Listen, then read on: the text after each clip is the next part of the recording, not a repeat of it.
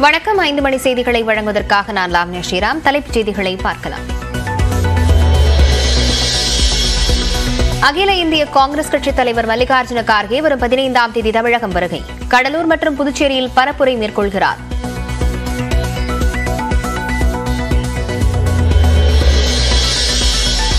உள்துறை அமைச்சர் அமித்ஷாவின் பரப்புரை திட்டத்தில் மூன்றாவது முறையாக மாற்றம். மதுரையில் மட்டுமே நாளை வாகனத்தில் பேரணியாக சென்று வாக்கு சேகரிக்கிறார்.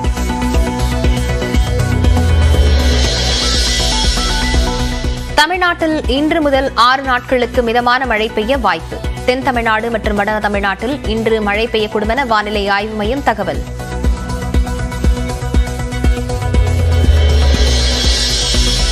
தமிழ்நாட்டில் நாளை முதல் இரு நாட்கள் பரப்புரை மேற்கொள்கிறார் மத்திய நிதியமைச்சர் நிர்மலா சீதாராமன். நாளை கிருஷ்ணகிரி சிதம்பரம் தொகுதிகளில் நடைபெறும் பொதுக்கூட்டத்தில் பங்கேற்கிறார்.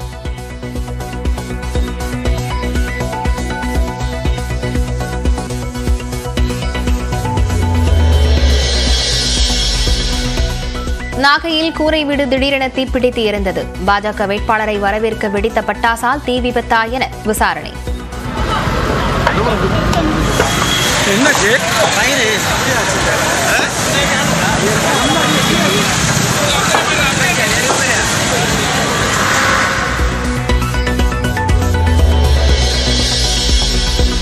வரும் பதினைந்தாம் தேதி மீண்டும் தமிழ்நாடு வருகிறார் பிரதமர் நரேந்திர மோடி. அம்பாசமுத்திரத்தில் நடைபெறும் பொதுக்கூட்டத்தில் பங்கேற்று நயினார் நாகேந்திரனுக்கு ஆதரவு திரட்டுகிறார்.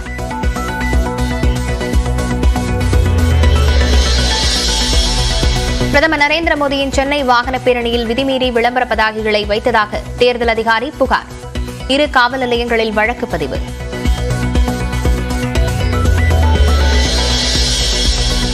பரப்புரைக்காக நாளை தமிழ்நாடு வருகிறார் ராகுல் காந்தி. கோவையில் நடைபெறும் கூட்டத்தில் முதலமைச்சர் மு க ஸ்டாலினும் பங்கேற்கிறார்.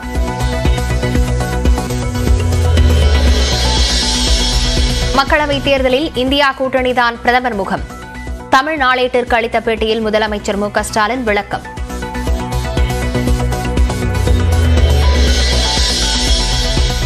தெலங்கானா முன்னாள் முதல்வர் சந்திரசேகர ராவின் மகள் கவிதாவை சிபிஐயும் கைது செய்தது. டெல்லி மதுபான கொள்கை முறைகேடு வழக்கில் அமலாக்கத்துறையால் கைதாகி திகார் சிறையில் உள்ள நிலையில் நடவடிக்கை.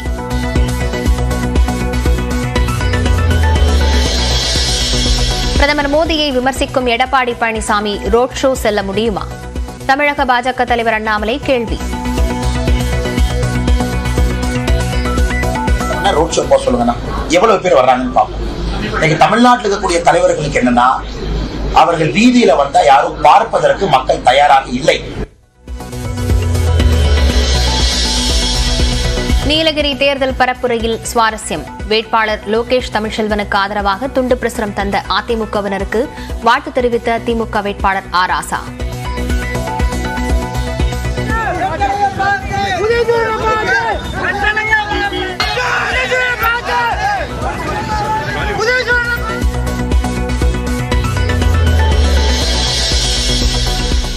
ரோட்டு வழி போற பெண்ணை ஒதுங்கி நிற்காதே. ராசிபுரத்தில் பாட்டுப்பாடி வாக்கு சேகரித்த நாம் தமிழர் தலைமை ஒருங்கிணைப்பாளர் சீமான். ஓட்டு போட போற ஒதுங்கி நிக்காத கண்ட கண்ட சின்னங்கண்டு கலங்கி நிக்காத உழைக்கு மக்கள் சின்னம் இந்த ஒளி வாங்கி சின்னம் உழைக்கு மக்கள் சின்னம் இந்த ஒளி வாங்கி சின்னம். தக்காளி தோட்டத்தில் களை எடுத்து வாக்கு சேகரித்த பாமக வேட்பாளர் சௌமியா அன்புமணி. சிவகங்கை தொகுதியில் கணவர் கார்த்தி சிதம்பரத்துக்காக பரப்புரையில் ஈடுபட்ட ஸ்ரீநிதி.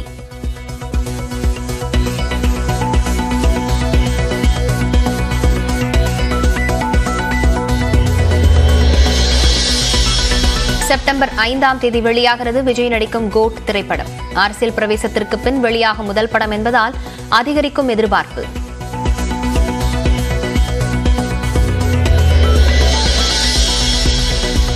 பழனியில் பாலியல் புகாரில் திண்டுக்கல் மேற்கு மாவட்ட பாஜக தலைவர் மகுடீஸ்வரன் கைது. காலை உணவு திட்ட பணியாளருக்கு பாலியல் தொந்தரவு கொடுத்த வழக்கில் நடவடிக்கை.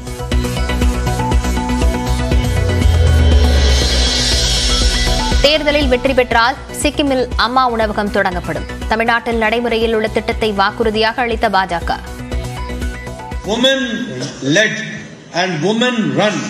Amma community canteens will provide subsidise thali eight rupees five per meal इसको भी हम कम्युनिटी कैंटीन चलाएंगे ஆந்திர மாநிலம் கர்னூல் மாவட்டத்தில் வரட்டியடி திருவிழா ஒருவரை ஒருவர் தாக்கிக் கொண்டு காயமடைந்த பக்தர்கள்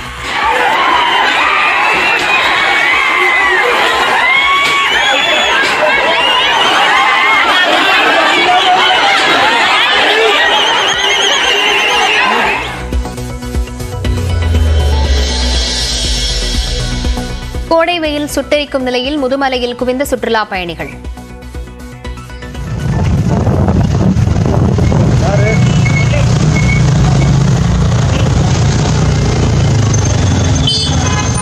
தொடர் விடுமுறையால் கொடைக்கானலில் அதிகரித்த சுற்றுலா பயணிகளால் போக்குவரத்து நெரிசல்.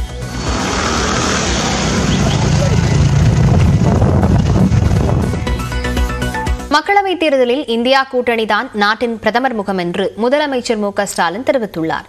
தமிழ் நாளிதழ் ஒன்றுக்கு பேட்டியளித்த அவர் மதவெறி அரசியல் எனும் நெருப்பை மூட்டி குளிர்காய நினைக்கும் பாஜகவிற்கு எதிரான மனநிலையே தமிழ்நாட்டில் இருப்பதாக குறிப்பிட்டுள்ளார். தற்போது நடைபெறும் தேர்தலில் யார் பிரதமராக வர வேண்டும் என்பதை விட யார் பிரதமராக தொடரக்கூடாது என்பதே நோக்கம் என்று முதலமைச்சர் மு ஸ்டாலின் கூறியுள்ளார். இது ஒரு ஜனநாயக மீட்பு போராட்டம் என்றும் இந்தியாவின் இரண்டாவது விடுதலை போர் என்றும் மு ஸ்டாலின் தெரிவித்துள்ளார். இதனிடையே கச்சத்தீவு தொடர்பாக தமிழ்நாடு சட்டப்பேரவையில் முன்னாள் முதலமைச்சர் கருணாநிதி தீர்மானம் நிறைவேற்றிய போது பாஜக என்ற ஒரு கட்சியே கிடையாது என்று முதலமைச்சர் குறிப்பிட்டுள்ளார். தமிழ்நாடு மண்ணின் அரசியல் தெரியாமல் பொய்த் தகவல்களை பரப்பி தமிழ்நாட்டு மீனவர்களுக்கு பாஜக இழைத்த துரோகத்தை மறைக்க முயற்சிப்பதாக மு க ஸ்டாலின் குற்றம் சாட்டியுள்ளார். கச்சத்தீவை மீட்டால் மீனவர்களின் வாழ்வுரிமை பாதுகாக்கப்படும் என்று பிரதமரிடம் பலமுறை வலியுறுத்தியும் எதையும் செய்யாத மோடி தற்போது முதலை கண்ணீர் வடிப்பதாக விமர்சித்துள்ளார். மேலும் தமிழ்நாட்டு மீனவர்கள் மீதான தாக்குதல் படகுகள் பறிமுதல் போன்ற இலங்கையின் செயல்பாடுகளுக்கு மோடி தலைமையிலான பாஜக அரசு துணை போனதாக மு ஸ்டாலின் குற்றம் சாட்டியுள்ளார்.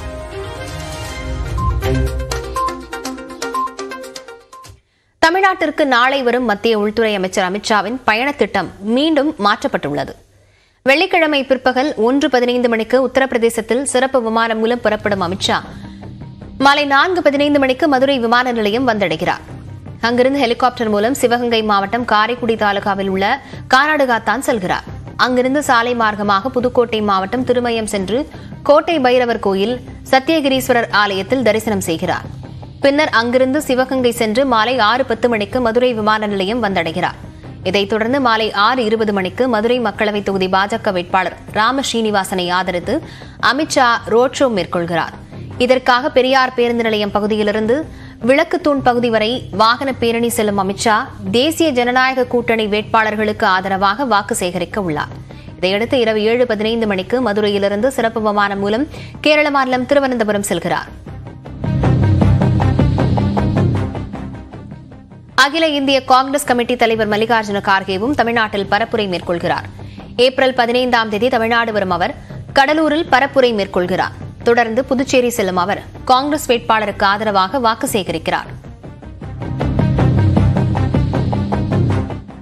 டெல்லியிலிருந்து ரோட் ஷோவுக்காக வருபவர்களால் தமிழ்நாட்டுக்கு என்ன பயன் என பிரதமர் மோடியை எடப்பாடி பழனிசாமி மறைமுகமாக சாடிய நிலையில் எடப்பாடி பழனிசாமியால் வாகன பேரணி செல்ல முடியுமா என்று பாஜக மாநில தலைவர் அண்ணாமலை கேள்வி எழுப்பியுள்ளார். மத்தியிலிருந்து அடிக்கடி தமிழ்நாட்டுக்கு வந்துட்டு போயிட்டு இருக்கிறாங்க. அதனால என்ன பிரயோஜனம்? வர்றவங்க ஏதாவது ஒரு திட்டத்தை கொடுத்து அதனால மக்கள் நன்மை பெற்றிருந்தா பிரயோஜனம் உண்டு. அதை விட்டுட்டு நேரா ஏரோப்ளான் வந்து இறங்குறாங்க. ரோட்ல போறாங்க. அதோட முடிஞ்சு போச்சு கதை. மக்கள் ஓட்டு போட்டுருவாங்களா? என்ன தமிழ்நாட்டு மக்கள் என்ன? சாதாரணவர்களா டிபிஎஸ் ரோட் ஷோ போக சொல்லுங்கண்ணா. எவ்வளவு பேர் வர்றாங்கன்னு பார்ப்போம். இன்னைக்கு தமிழ்நாட்டில் இருக்கக்கூடிய தலைவர்களுக்கு என்னன்னா அவர்கள் வீதியில வந்தா யாரும் பார்ப்பதற்கு மக்கள் தயாராக இல்லை. அசம்பிள்டா ஒரு இடத்துல உட்கார வச்சு வண்டியில ஏத்தி கொண்டு போய் இறக்கி அவங்கள பட்டி பட்டி மாதிரி அடைச்சு ஒரு ஒரு ஐநூறு பேர்த்துக்கு ஒரு சூப்பர்வைசரை போட்டு இப்படித்தான் அரசியல் கட்சி கூட்டம் நடக்குது தமிழ்நாட்டுல. அனைத்து இந்திய அண்ணா திராவிட முன்னேற்ற கழகத்தினுடைய கூட்டத்தையும் சேர்த்து தான் சொல்றேன். தேர்தல் பத்திர விவகாரம் குறித்து பிரதமர் மோடி ஏன் வாய் திறப்பதில்லை என தமிழ்நாடு காங்கிரஸ் கமிட்டி தலைவர் செல்வ பெருந்தகை கேள்வி எழுப்பியுள்ளார். நெல்லையில் நாளை மாலை நடைபெறவுள்ள பரப்புரை கூட்டத்தில் காங்கிரஸ் மூத்த தலைவர் ராகுல் காந்தி பங்கேற்க உள்ள நிலையில் அதற்கான ஏற்பாடுகளை செல்வ பெருந்தகை ஆய்வு செய்தார். இதையடுத்து செய்தியாளர்களிடம் பேசிய அவர் சிஏஜி அறிக்கை குறித்த எதிர்க்கட்சிகளின் குற்றச்சாட்டிற்கு பிரதமர் ஏன் பதிலளிப்பதில்லை என வினவினார். முதல்ல தேர்தல் நன்கொடை பத்திரத்துக்கு அவர் வாயை திறக்கட்டும். இந்த நாட்டுடைய உரிமைகள்லாம் விட்டு கொடுத்திருக்காரு சீனாக்கு. மேண்ட்ரின் லாங்குவேஜில் சீன மொழியில் முப்பது இடத்துக்கு இடத்த மாத்திர அதை பத்தி வாயை திறக்கட்டும். ஏழரை லட்சம் ரூபாய் கோடி ஊழல்னு சிஏஜி சொல்லியிருக்கு. அதை பத்திலாம் பேசட்டும். அதை பத்தி பேசாம ஒரு கையை பிறரை நீட்டுக்கிறாரு நாலு விரல் அவரை நீட்டுகிறது. இதெல்லாம் பதில் சொல்லிட்டு அவர் பேசட்டும்.